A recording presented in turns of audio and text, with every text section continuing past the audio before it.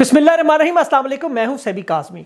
नाजिन बहुत सी खबरें और अहम पेशरफ जो दुनिया में हो रही है ख़ास तौर पर पाकिस्तान के हवाले से जो अहम डेवलपमेंट्स हैं। उनमें पहली खबर है कि अमेरिका ने एक्शन का रिएक्शन दिया। पाकिस्तान का पाबंदियों की लिस्ट में पहली पाबंदी। अभी और बाकी है, याद रखिएगा। और इसमें पाकिस्तान नहीं, इसके साथ तुर्की भी शामिल है। इस पाबंदी से जो इंसानों की स्मगलिंग है, उस लिस्ट में पाकिस्तान का नाम डाल दिया गया।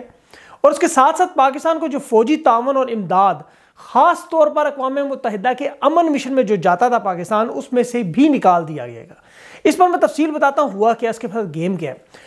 आर्मी चीफ के हवाले से बहुत सी खबरें आई, मुलाकातें हुई। अब अंदरूनी तफसीलात जो बाहर आ रही हैं, बहुत से आम लोगों को शायद ये मालूम ना पहुँची हों, मैं बताता हूँ आपको। फौजी अड्डे बगराम, अफ़गानिस्तान में, जहाँ बच्चों को डरा कर माएँ सुलाती थी, वो खाली हो गए। अब इस खाली जगह को कौन पुर कर रहे हैं? और हिंदुस्तान में जो वज़ीर अजम ने एक रिमार्क्स दिए इमरान खान ने कि एक छोटा सा मुल्क क्रिकेट के वर्ल्ड कप को, बड़े मुल्क को हरा गया। बड़ा बुरा क्यों समझा गया? ऐसे वक्त में इस्लामाबाद में हिंदुस्तान के जो सफारत खाना है, उसके ऊपर ड्रोन नज़र आया। मीडिया में बड़ा शोर मचा। इस पर क्या सूरत हाल है? असल हकीकत क्या है? और सबसे अहम मुल्की मसला लोड शेडिंग उसकी मैं आपको कुछ अहम मालूम भी बताता हूँ। इन सब खबरों पर तफसील से बात करते हैं और साथ आप तजिया जो आपकी खिदमत में पेश करता हूँ।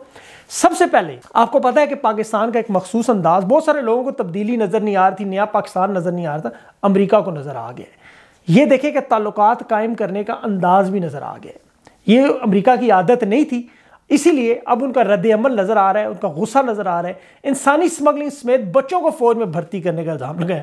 इस लिस्ट में अफ़गानिस्तान, ईरान, इराक, लिबिया, जनूबी सूडान, शाम, यमन, नाइजेरिया और पाकिस्तान, यानी सारे मुसलमान ममालिक। दूसरी तरफ़ म्यांमार, कांगो, माली, वनजुएला, इन जैसे ममालिक जो अफ्रीका के हैं। और 2021 के लिस्ट में तुर्की और पाकिस्तान का नाम नया है, ये पहले नहीं था। जो बाकी ममालिक हैं, उनके नाम पिछले 10 सालों से मौजूद है। तारीफ़ इन्होंने ये की कि जिन बच्चों की अठारह साल से कम उम्र हो, उन्हें फौज में सिक्योरिटी इदारों में या पुलिस में, वो मातहत हुकूमत के काम करें। मतलब अकल काम करती है पाकिस्तान में रेंजर्स में पुलिस में, फौज में, ज़रा भर्ती तो होकर दिखाएँ अठारह साल से कम। और अठारह साल से ऊपर का इतना कंपटीशन है भाई, अमेरिका को बताएँ कि ज़्यादा आप अपनी फ्रस्ट्रेशन ना निकालें। लेकिन ये ताल्लुकात इस नहज पर पहुँच चुके हैं कि जो मदरसे के बच्चे हैं, उनके नाम लगाकर जी के अफ़गानिस्तान भेजा जाता था। अब यह बहाना है सामने। कि जी, यहाँ पर बहुत सारे मिलिट्री ग्रुप काम करते हैं। पाकिस्तान ने हमेशा इनकार किया, हमेशा डिनाई किया, क्योंकि सबूत ही कोई नहीं, ऐसा कुछ है ही नहीं। इसके बावजूद ये तुर्की और पाकिस्तान पर इल्ज़ाम लगाते हैं कि ये इराक, अफ़गानिस्तान, कीनिया, शाम, वहाँ पर पूरी दुनिया में मतलब दूसरी मानों में भेज देते हैं। लेकिन आपको पता है, नया पाकिस्तान है, ये तब्दीली पाकिस्तानियों को शायद नज़र नहीं आ रही, लेकिन इब्तदाइश क्या उनको नज़र आ गई। आगे आगे देखें होता है क्या है। वजी अजम और कौम को बताया गया कि आप लोग जहनी तौर पर तैयार हैं। ये लोग बहाना करके कोई ना कोई सजाएँ, कोई ना कोई बैरूनी पाबंदियाँ पर लगाएँगे। अंदरूनी सतह पर बहुत सी चीज़ों को छेड़ा जाएगा, याद रखिएगा। इसीलिए आर्मी चीफ ने अपोजिशन को अतमाद में लिया, एक बड़ी मीटिंग हुई। उसकी मैं तफसीलात बताता हूँ। कुछ थोड़ी बहुत आपने इधर उधर से सुन ली होंगी, लेकिन अपोजिशन के साथ जो मुलाकात हुई, उसमें शहबाज शरीफ साहब ने आर्मी चीफ से कहा कि जी, आपने अड्डे ना देने का बड़ा अच्छा फैसला किया है। आर्मी चीफ ने कहा कि ये फैसला हमारा नहीं वज़ीर अजम का हम ऑन बोर्ड हैं। ये बात बड़ी इंपॉर्टेंट है। अपोजिशन की ये मुलाकात हुई है। ये सबसे पहले तो देखिए इन्होंने एक बड़ा गलत काम हुआ वोट को इज़्ज़त दो का नारा लगाते रहे। अब ये लाइन बनाकर, दायरे बनाकर, इंतज़ार करते रहे, कब आर्मी चीफ गुजरें और कब ये अपने और सारी उनकी उनके सवाल क्या थे? देखें कि वजी अजम इस कौमी सलामती की मीटिंग में क्यों नहीं आए? ये बिलावल पूछ रहे थे, जो कि खुद इतने अरसे से पार्लियामेंटेरियन है, उन्हें ये नहीं पता कि ये शर्त शहबाज शरीफ साहब ने रखी थी। और बिलावल की ना समझी है, मुझे हैरानगी है कि उन्हें यह नहीं पता अभी तक कि वजी अजम जो है वो कौमी सलामती कमेटी के मेंबर नहीं है।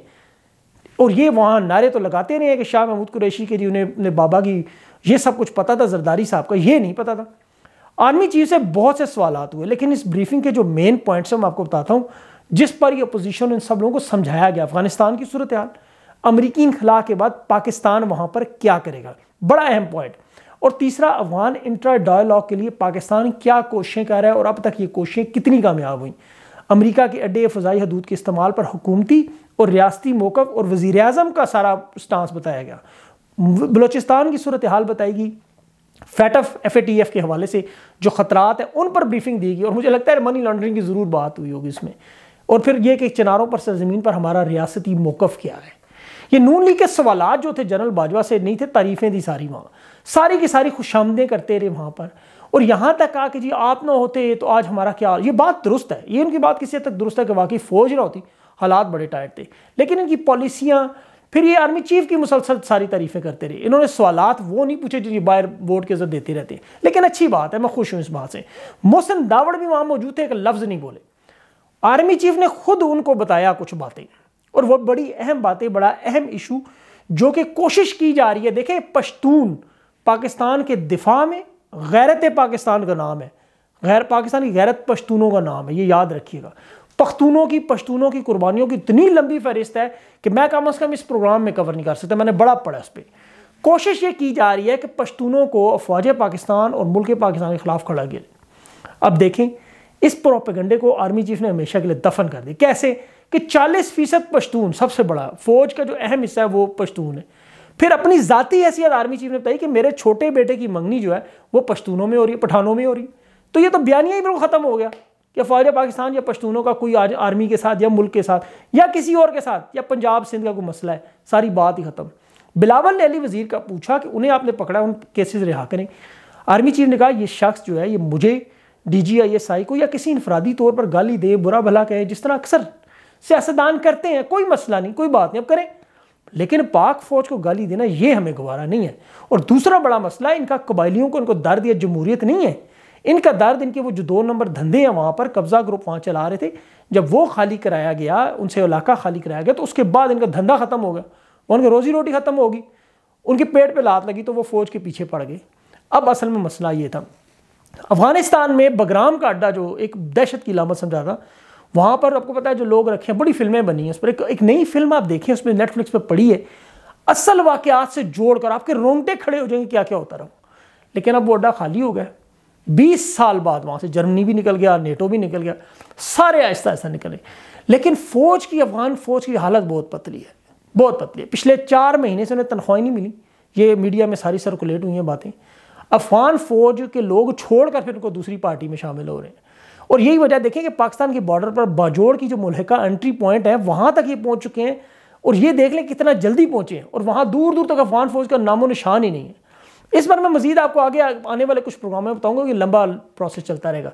लोड शेडिंग पर बात करें शबाज जी साहब का बयान आपको याद होगा, बिजली के हम जिम्मेदार नहीं है, लेकिन एक और चीज़ उन्होंने ज़िम्मेदारी पूरी नहीं की। 2014 में जो हो जानी चाहिए थी, सो खमियाजा अब सामने आ रहा है। 2014 में आपको पता है गैस टर्मिनल के लिए जब कंपनी के साथ मुआदा हुआ था, उस मुआदे में था कि ये जो टर्मिनल है, इनकी हर पाँच साल के बाद ड्राई डॉकिंग करवाते हैं। वो मैं प्रोसेस आपको समझाता हूँ। उसके बाद अगर कोई हादसा हो तो फिर इंश्योरेंस कंपनियाँ इसकी जिम्मेदार नहीं होती। अब 2020 में मतलब छः साल गुजर गए। होना 2019 में था, लेकिन 2020 में ये टर्मिनल कंपनी ने खुद इजाज़त मांगी कि हम ड्राई डॉकिंग करते हैं। एक्सक्यूज़ मी लेकिन हुकूमत ने उसकी इजाज़त नहीं दी, क्योंकि उस कोरोना के दिनों में लोग घरों में थे। अगर ऐसे में लोड शेडिंग होती तो एक नया फसाद बन जाता, ना घर में रह सकता था। आगे से लोग फ्रस्ट्रेटेड थे तो उन्होंने कहा, आगे पोस्टपोन करो। मार्च 2021 में दोबारा कंपनी इजाज़त मांगी और इस दफ़ा उन्हें इजाज़त दे देगी। अब ये डॉकिंग होता है कि बड़े बड़े शिपों में अक्सर होता है कि वहाँ पर टर्मिनल की जो मेंटेनेंस है इंस्पेक्शन करते हैं, उसको देखते हैं और उसकी लाइफ बढ़ाने के लिए उस पर काम किया जाए, ताकि आगे चलता रहे बड़ा अरसा वो। इस दौरान वो सप्लाई जो है वो बंद हो जाती है। अब सप्लाई के बंद होने की वजह से लोड शेडिंग पर बड़ा असर पड़ता है। लेकिन मसला ये नहीं है कि ड्राई डॉकिंग नहीं करनी चाहिए। मसला ये है कि इसे पीक सीज़न में, गर्मियों में आपको पता पीक सीज़न है। इसे गर्मियों की बजाय सर्दियों में करना चाहिए था या कोई और इसका स्केड्यूल बनाना चाहिए था। क्योंकि अगर वो 2019 में भी करते तो ये मसला आता। लाइन लॉसेस का जो कहा जा रहा है, इसका लोड शेडिंग ये सर्कुलर डेट से कुछ तल्लक होता है बिल्कुल भी नहीं। ट्रांसमिशन की कैपेसिटी का लोड शेडिंग के साथ तल्लक ज़रूर होता है। और दूसरा जो फीडर में आपको पता है रिकवरी कम हुई है, या बिजली चोरी ज़्यादा हुई है, वहाँ पर लोड शेडिंग की जाती है। तो वहाँ लोगों को पता भी चल जाता है कि ड्राई मतलब ये जो एक तो ड्राई डॉकिंग हो रही है मतलब एक तो इंस्पेक्शन कर रहे हैं मेंटेन कर रहे हैं, उसको देख रहे हैं, सारे प्लांट को कहाँ कहाँ उसमें मसले हैं, वो ठीक कर रहे हैं, उसकी मेंटेनेंस कर रहे हैं। दूसरा ये जिस इलाके में लोड शेडिंग ज़्यादा हो रही है, मैं आपको एक आसान फार्मूला बताता हूँ, वहाँ पर बिजली ज़्यादा चोरी हो रही है। याद रखें मेरी बात। इन्होंने फीडर्स को इस अंदाज में गवर्नमेंट ने अब तरतीब दिया नया, जो सिस्टम है इनका, कि जहाँ जहाँ वहाँ से पावर को मतलब एक टर्मिनल बने हुए हैं, कि इन्हें पता चल जाता है कि जहाँ से ज़्यादा चोरी होती है, वहाँ पर ये लोड शेडिंग शुरू करते हैं। अब होना ये चाहिए कि जो लोग चोरी कर रहे हैं, बिजली की चोरी में मुलवस है, उन्हें पकड़ा जाए।